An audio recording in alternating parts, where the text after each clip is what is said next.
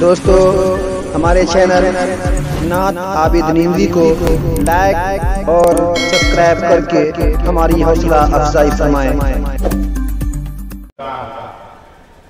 نکاح سے متعلق چند بات اور دوسری بات، اس کا نام ہے اصلاح معاشرہ۔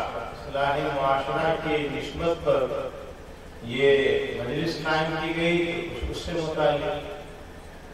نکاح کے متعلق بات یہ ہے نکاح کے معنی ہی آتے ہیں ملانا تو نکاح اس لیے کیا جاتا ہے ایک دو خاندان آپس میں ملتے ہیں اور جب نکاح کی مجلس نہ ہوتی ہے نکاح پڑھایا جاتا ہے اس میں تین آیتیں پڑھی جاتی ہیں تینوں آیتوں میں تقوی کا حکم ہے گویا اشارہ اس بات کی طرف ہے، انسان کے نکاح ہونے سے پہلے بھی اس کی زندگی میں تقوی ہونا چاہیے۔ اور نکاح کے موقع پر بھی دیکھا جائے کہ اس کی زندگی میں خدا کا خوف ہے یا نہیں۔ اور نکاح کے بعد انسان کی تین زندگی ہے، ماضی، حال، استقبال، اسی طریقے سے یہ تین آیتیں پڑھی جاتی ہیں۔ معلوم ہوا کہ ایک واقعہ میں جو حضرت عبداللہ ابن مبارک، یہ عبداللہ ابن مبارک میں ہیں، بہت بڑے محدث اور بہت بڑے متقی اور پرہیزگار۔ عبداللہ ابن مبارک کہ پہلی تقوی کتنا ایک مرتبہ کسی آدمی سے قلم لیا تھا۔ اور اس کے بعد وہ اپنے گھر آگے یاد نہیں رہا کہ اسے قلم واپس کرنا ہے۔ جب گھر آئے تو اسے یاد آیا، حضرت واپس گئے اور ایک ہفتے کا سفر طے کر کے، اس زمانے میں اونٹ کی سواری تھی۔ سفر طے کر کے ایک صحابی قلم کو قلم ادا کر دیا۔ لوگوں نے کہا، حضرت، یہ تو معمولی سی چیز ہے، اس کے لیے آپ نے اتنی زحمت کی۔ حضرت نے فرمایا میرے نزدیک صاحب حق کا حق ادا کرنا راہ خدا میں ایک لاکھ روپے خرچ کرنے سے بہتر ہے۔ ایک روپیہ اگر کسی کا میرے ذمہ باقی ہو، اس روپے کو ادا کرنے کے کرنا اللہ کے راستے میں ایک لاکھ روپے کیا خرچ کرنے سے بہتر ہے۔ آج ہم معمولی سی چیزیں رکھتے ہیں، کسی کی چیز ہو، اس کو ہدف کر جاتے ہیں تو دیکھیے کتنا بڑا کیا گیا کے اندر کس طرح تقوی تھا۔ یہی وجہ ہے، ایک بات اور بھی ہے۔ ایک مرتبہ ایک زمین مکان بک رہا تھا۔ مکان بیچنے والوں نے مکان کی قیمت بتایا۔ اس کی قیمت ہے دو دو ہزار درہم خریدنے والوں نے کہا، اس کی قیمت تم دو ہزار درم بولو ایک ہزار درم میں تو مکان ڈھیری ملتا ہے۔ بہت سی جگہ اس کی قیمت ایک ہزار روپے بیچنے والے نے کہا صحیح کہتے ہو؟ واقعتا اس مکان کی قیمت ایک ہزار روپے ہے، لیکن ایک ہزار روپے مکان کی قیمت اور ایک ہزار عبداللہ ابن مبارک کے پڑوس میں ہونے کی قیمت۔ میں آپ کا، میرا جو مکان ہے، وہ عبداللہ ابن مبارک، بہت بڑے محدث ہیں، ان کے بغل میں ہے۔ تو پڑوسی اچھا مل جائے، اس سے بڑھ کر کیا نعمت ہو سکتی یعنی اسی لیے حدیث پاک آتا ہے، وہ شخص پکا مومن نہیں، جس کا پڑوسی اس کی ایزا اور اس کی تکلیف سے کیا جائے معمول نہیں۔ بہرحال عبداللہ مبارک کا وہ مقام تھا کہ لوگ ان کے پڑوس میں رہنے کے لیے ڈبل قیمت دے کے کیا مکان کر دیا۔ عبداللہ بن مبارک، ان کے والد کا نام مبارک ہے۔ ان کے والد کسی کے یہاں دربانی کیا کرتے تھے پاسوانی کیا کرتے تھے، جس کے یہاں یہ مناظر تھے باغ کے کیا تھا نگراں تھے، اس باغ کا مالک ایک دن آیا اور کہا، مبارک، مجھے تم رس پلاؤ، جوس پلاؤ۔ یہ کہیں سے گئے، باپ سے اپنا لائے رس رس اور اس کو پلا دیے۔ وہ باپ کا مالک کہنے لگا، مبارک، بارہ سال تم کو ہو گئے، لیکن تجھے پتا نہیں ہے کس درخت کا پھل میٹھا ہے، کس کا پھل کیسا ہے، کس کا ذائقہ اچھا ہے۔ تم نے جو مجھے جوس پلایا سمجھے وہ تو اچھا نہیں تھا۔ تمہیں کم سے کم خیال کرنا چاہیے درختوں میں سے کون سا درخت ہوتا ہے؟ اچھا پھل پیش کرنا چاہیے۔ عبداللہ حضرت مبارک نے فرمایا، آپ نے باپ کو مجھے نگرانی کے لیے دار دیا تھا۔ آپ نے یہ تو نہیں کہا تھا کہ باپ کا پھل بھی تم چکھنا؟ آج ہمارے اگر کوئی باپ کا مالک ہو نگراں ہو، تو وہ تو اپنے باپ کا ہی باپ باپ سمجھ لیتا ہے۔ خود بھی کھاتا دوسروں بھی دے دیتا ہے۔ ہدیہ بھی دے دیتا ہے۔ حالانکہ اس کا ہدیہ لینا بھی جائز نہیں، تو مالک پھر بیچ گیا لینے والا کہہ رہا ہے کہ میں اس کی قیمت آپ کو بیس درہم دوں گا۔ آج تک ایسا سنا؟ آج تک آپ نہیں سنے ہوں گے کہ کوئی لینے والا کہے گا کہ میں پیسہ بڑھا کے دوں۔ اور دینے والا کہے کہ میں گھٹا کے دوں۔ لیکن وہ کہہ رہا ہے، نہیں، میں پندرہ روپے میں یہ سامان دوں گا۔ لینے والا کہہ رہا میں بیس روپے میں دوں گا۔ لوگوں نے کہا، بھائی، جب یہ بیس لینے کے لیے تیار ہے، تو تم کیوں پندرہ روپیہ دیتے پندرہ روپے میں سامان دینے کے لیے تیار ہے۔ تو تم کیوں کیا جاتا ہے، بیس روپیہ دینے کے لیے تیار ہے؟ کہا ہمیں مجھے بیس دینا ہے۔ اس سے پوچھا کہ جب یہ زیادہ دے رہا ہے تو تم کم کیوں لے رہا ہے؟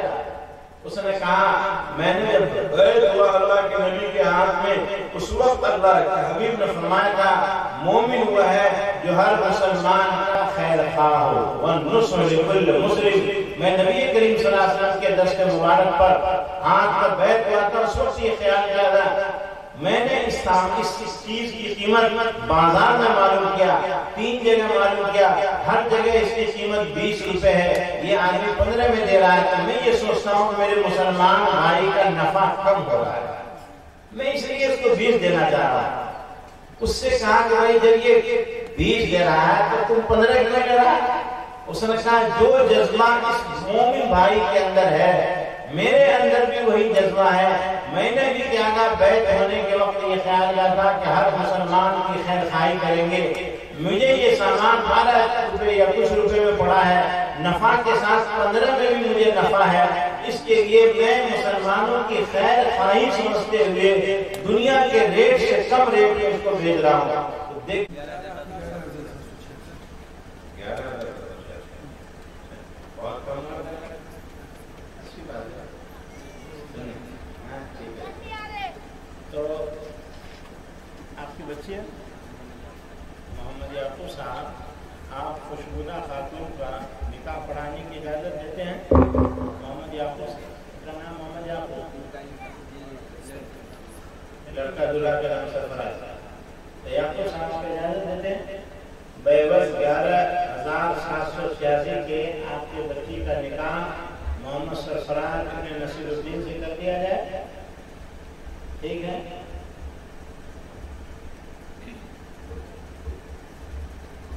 الحمد لله الحمد لله نحمده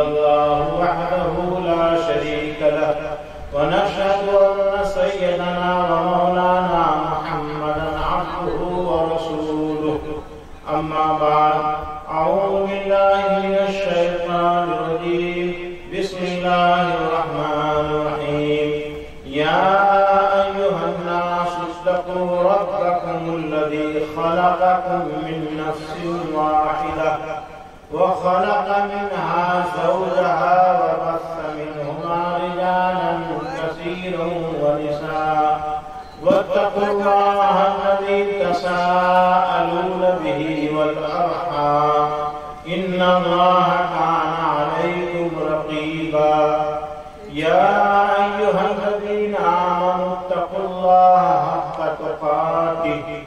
ولا تموتن إلا وأنتم مسلمون. يا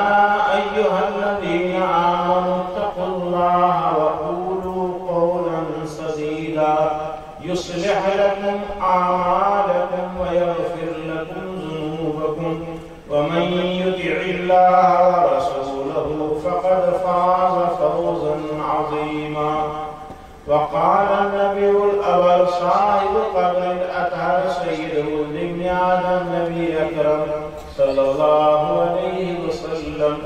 يا معشر الشباب من استطاع منكم الباء فليتزوج.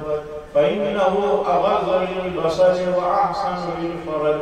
ومن لم يستطيع فعليه بالصوم فإن له بلا وقال النبي صلى الله عليه وسلم أعظم النكاح بركة أيسرها مؤونة. وقال النبي صلى الله عليه وسلم النكاح من سنتي. وقال في موضع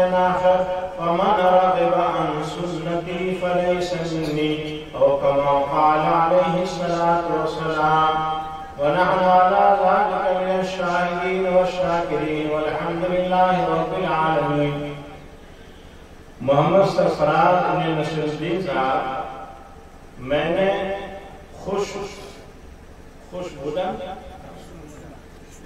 خوشمودہ خاتون جو محمد یعقوب صاحب کی لڑکی ہے، اس کا عقد مسنون گیارہ ہزار سات سو چھیاسی روپے کے عوض ماں نام نفقہ حاضرین مجلس کے سامنے میں اپنی وکالت میں آپ کے نکاح میں بیوی بنا کر دیا کیا آپ نے قبول کیا؟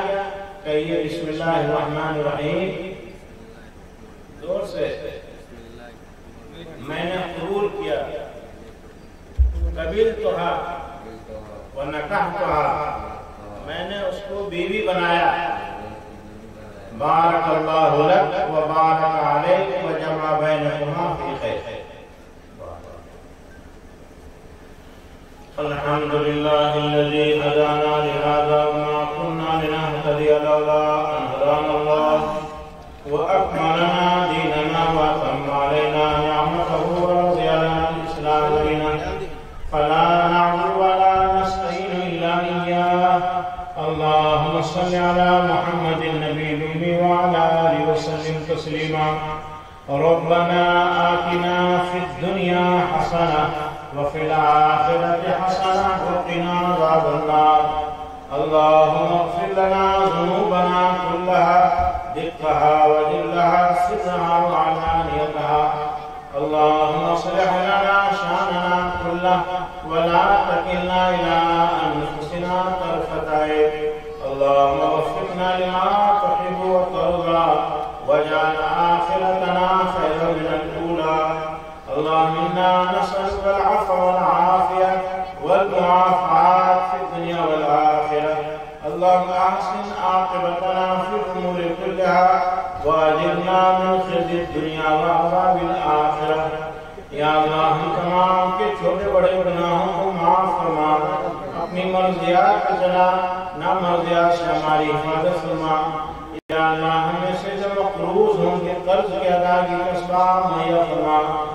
پریشان حال ہوں گے پریشانیوں کو دور فرما۔ جو بیمار ہوں تو بیماری سے شفائے کاملہ، عادلہ، مستمرہ نصیب فرما۔ یا اللہ، جسمانی بیماری سے جو شفا نصیب فرما۔ روحانی بیماریوں سے بھی شفا نصیب فرما۔ یا اللہ، ہمارے دل کو حسن سے، کینہ سے، بغض سے، عداوت سے، یا اللہ، پاک و صاف فرما۔ یا اللہ، ہے پروردگار اعظم ان دل میں پانچ بار وضو کرتے ہیں۔ یا اللہ پروردگار عالم، یہ وضو حقیقت میں تو توبہ ہے۔ یا اللہ، اس لیے محمد غزالی نے فرمایا کہ توبہ کے بھی تین شرائط ہے اور وضو کرنے میں بھی آدھا کو تین مرتبہ دھویا جاتا ہے۔ اور اسی لیے وضو کے بعد دعا کیا کہ اللہ ملائم التوابین، یا اللہ ہم تمام کے قلوب کو مزکہ اور مصفہ فرما۔ یا اللہ، پروردگار عالم، جس طرح اتحاد، اتفاق سے بھی بیٹھے یا اللہ، تعالی نے آیا، آپس میں محبت اور الفت نصیب فرما۔ یا اللہ، چھوٹوں کو، بڑوں کی تعظیم کی توفیق عطا فرما۔ بڑوں کو، چھوٹوں کو شفقت کی توفیق عطا فرما۔ یا اللہ، پروردگار عالم، اے مرب جلیل کھیتی باڑی کے موقع پر پیسوں کی تنگی کے باوجود لوگوں نے فراوانی کے ساتھ دل کھول کر پیسہ دیا اور کافی رقم اس جلسے میں خرچ ہوا ہے۔ یا اللہ پروردگار عالم اے مرب جلیل اس کو بار بہت بابا کا ادا فرما۔ جس مقصد کے ساتھ ان کے لیے جلسہ کیا گیا یا اللہ پروردگار عالم ہمارے معاشرے میں اصلاح، سدھار نصیب فرما۔ یا اللہ پروردگار عالم ہمارے بچیوں کے اور بچوں کے مستقبل کو روشن و تابناک فرما۔ جن جن لوگوں نے تعاون کیا ہے، اللہ تمام معاونین کو ان کے تعاون کا عدل عظیم عطا فرما۔ یا اللہ ہے پروردگار عالم، جتنے لوگ ہمارے مہمانان کرام دوست ہیں، یا اللہ ان کی آمد کو قبول فرما۔ یا اللہ ہے پروردگار عالم، ہماری دعاؤں کو صحاب بدرین کے سلسل کے دفعہ میں قبول فرما۔ انبیاء، شہداء، صالحین، صدیقین کی برکت سے قبول فرما۔ یا اللہ جنہوں نے دعاؤں کے لیے کہا یا لکھا یا دعا کے متوقع ہیں تمام کی جائز تمناؤں کو پورا فرما۔ یا اللہ پروردگار عالم ہمارے جتنے بھی مرحومین ہیں، یا اللہ، تمام کی مغفرت فرما۔ یا اللہ، اس جلسے میں جو بھی خیر کی باتیں کہی گئی اور آج ہم نے جو بھی نفل نمازہ پڑھی، اس کا ثواب نبی کریم صلی اللہ علیہ وسلم کو پہنچا دیے۔ اور تمام انبیاء، شہداء، صالحین، صدیقین کو پہنچا اور تمام مرحومین کی بال بال مغفرت فرما اللهم اغفرهم وارحمهم وسكنهم في الجنة واجعل قبورهم روضة من رياض الجنة یا اللہ، ہماری دعا کو نبی کریم صلی اللہ علیہ وسلم کی برکت سے قبول فرما۔ آہ، جاتی ہے فلق پہ رحم لانے کے لیے۔ بادلو ہٹ جاؤ دے دو راہ۔ دعا تو عرض کر عرش بری کو تھام کے، اے خدا تو فیر دے گردش ایام کے۔ خلق کے راندے ہوئے دنیا کے ٹکرائے ہوئے، خلق کے راندے ہوئے دنیا کے ٹکرائے ہوئے۔ آئے ہیں گھر پہ تیرے ہاتھ پھیلائے ہوئے۔ خار ہے مدکار ہے جو بھی ہوئے ذلت میں ہے کچھ بھی ہیں لیکن تیرے محبوب کی امت میں ہے۔ اے خدا، انکا تتواب رحیم۔ سبحان ربك رب العزة عما يصفون وسلام على المرسلين والحمد لله رب العالمين برحمتك يا أرحم الراحمين.